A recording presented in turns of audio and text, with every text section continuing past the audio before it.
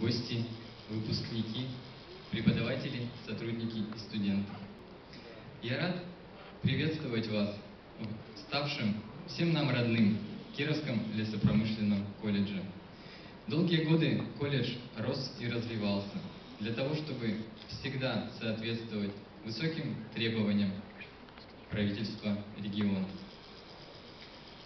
Хотел сегодня сказать слова благодарности нашим предприятиям-партнерам, которые высоко ценят качество подготовки наших выпускников и позволяют им трудоустраиваться, готовы обеспечить им профессиональную карьеру.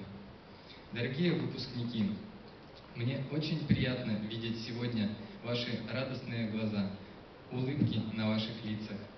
Сегодня вы, как и несколько лет назад, можете пройти по коридорам и кабинетам колледжа.